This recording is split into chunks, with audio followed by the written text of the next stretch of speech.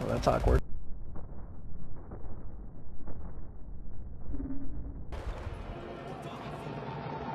Long live the king. Uh, what's next? Way to go, T-Mac, you prick. you did that one for fun, didn't you? He's like, hey, I don't have any T kills. Mm. Got me at the beginning of the survey. I'll remember that, bro. You're sitting there camping with your little sniper, Whoa, whoa, how did I get three knife kills? Last kill. make a little backpack of C4 for you.